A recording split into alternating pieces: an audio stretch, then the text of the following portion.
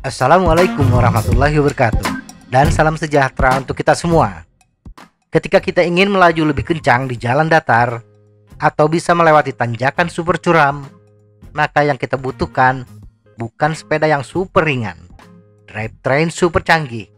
Tetapi yang kita butuhkan adalah power Atau daya yang cukup yang dihasilkan oleh tubuh kita sebagai mesin penggerak Sepeda dengan berat 17 kg bisa mencapai kecepatan 40 km per jam tanpa harus menurunkan berat sepeda menjadi 6,8 kg bila kita sanggup menyediakan power yang dibutuhkan.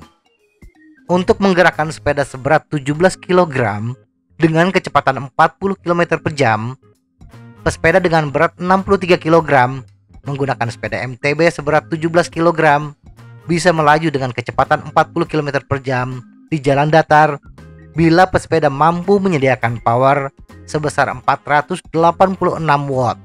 Dan bila berat sepeda diturunkan menjadi 6,8 kg power yang diminta adalah 472 watt lebih rendah 14 watt. Nah penurunan 14 watt ini bila kita hitung dengan uang angkanya sangat besar sepeda MTB dengan berat 17 kg biasanya sepeda dengan frame baja harga berkisar 1 hingga 3 jutaan. Sepeda MTB dengan berat 6,8 kg biasanya berbahan karbon. Misalnya spesialis S-Work Epic AXS HT dengan berat 8,6 kg harganya kurang lebih 10.000 dolar Amerika Serikat sekitar 140 jutaan. Bagi pesepeda yang menggunakan sepeda seberat 17 kg menambah power sebesar 14 watt agar bisa menyamai kecepatan sepeda super ringan 6,8 kg yang dibutuhkan hanya menaikkan cadence 2 hingga 3 putaran per menit. Misalnya dari 80 rpm menjadi 82 atau 83 rpm. Nah, apa itu power? Mari kita bahas.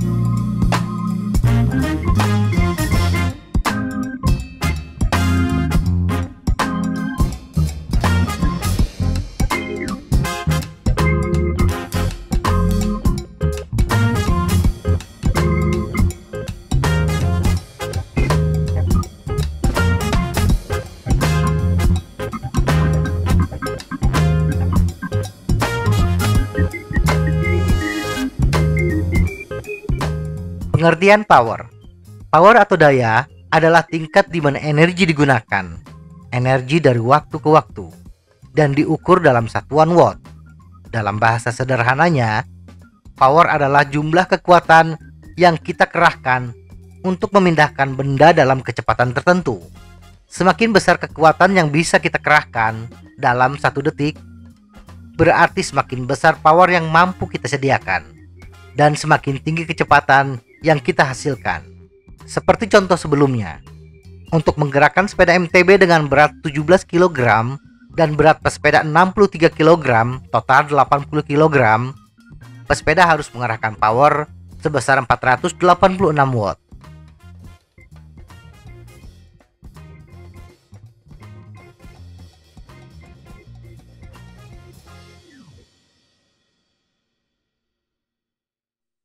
Keterkaitan kecepatan, cadence, gear ratio, dan torsi.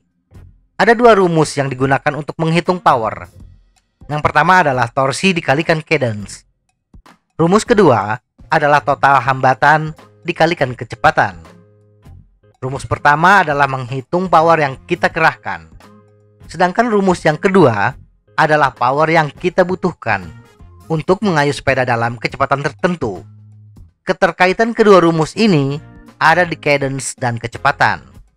Kecepatan sepeda adalah hasil perkalian antara keliling ban, gear ratio, dan cadence.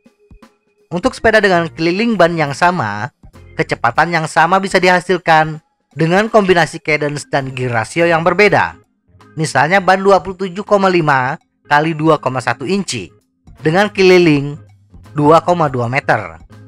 Untuk mencapai kecepatan 40 km per jam, bisa dengan kombinasi cadence 80 rpm dan gear ratio 3,79 kurang lebih kombinasi 44 12T atau cadence 90 rpm dan gear ratio 3,37 kombinasi 44 13T implikasi perbedaan cadence bila kita kaitkan dengan rumus pertama adalah semakin kecil cadence semakin besar gaya torsi yang harus dikerahkan untuk menghasilkan power yang sama atau dengan kata lain kecepatan yang sama. Kecepatan 40 km per jam yang membutuhkan power sebesar 486 watt. Bila dikayu dengan cadence 80 rpm membutuhkan gaya torsi 6,075 Newton meter. Sedangkan cadence 90 rpm membutuhkan gaya torsi sebesar 5,4 Newton meter jadi semakin besar cadence semakin kecil gear ratio yang dibutuhkan dan semakin kecil pula gaya torsi yang dibutuhkan untuk menghasilkan kecepatan yang sama.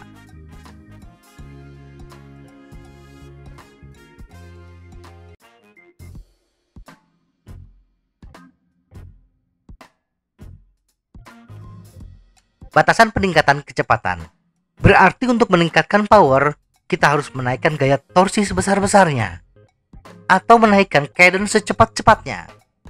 Bisa benar, bisa tidak kita bisa menaikkan torsi sebesar-besarnya, yang kata para senior, kekuatan dengkul, atau menaikkan cadence sebesar-besarnya untuk menghasilkan power yang sebesar-besarnya. Tetap saja kita harus ingat aturan, rumus 1 harus sama dengan rumus 2. Besaran power atau dengan kata lain, kecepatan paling tinggi yang bisa dihasilkan bergantung pada gear ratio dan cadence yang tersedia. Anggaplah pesepeda gunung yang paling kuat mampu mengayuh pedal dengan torsi yang sebesar-besarnya, tetapi cadence hanya 100 rpm. Maka kecepatan puncaknya bila menggunakan gear rasio tertinggi yang ada di sepeda gunung 48 10T hanya 63,36 km per jam atau membutuhkan power 1683 watt.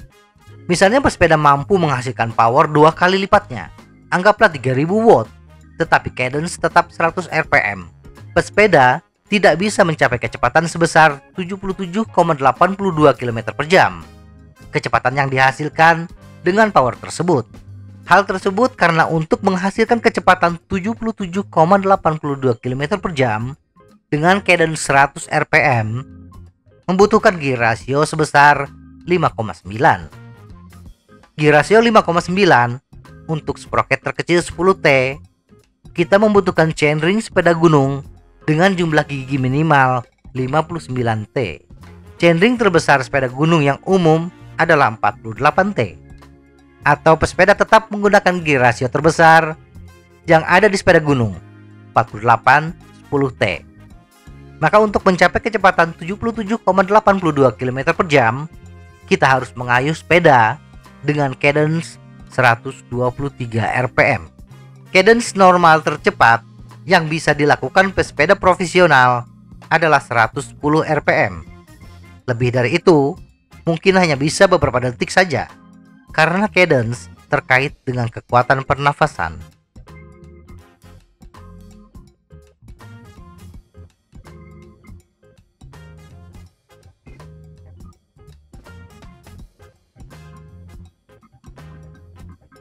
Kesimpulan, power adalah faktor utama yang mempengaruhi kecepatan. Menaikkan power untuk meraih kecepatan yang lebih tinggi membutuhkan biaya yang tidak terlalu besar bila dibandingkan meningkatkan kecepatan dengan mengurangi hambatan, seperti menurunkan berat sepeda. Peningkatan power yang bisa dilakukan pesepeda dibatasi oleh gear ratio dan atau cadence. Meningkatkan power yang paling optimal adalah dengan cara memperbesar gaya torsi dan meningkatkan cadence. Semoga informasi ini bermanfaat. Tetap sehat. Salam goes.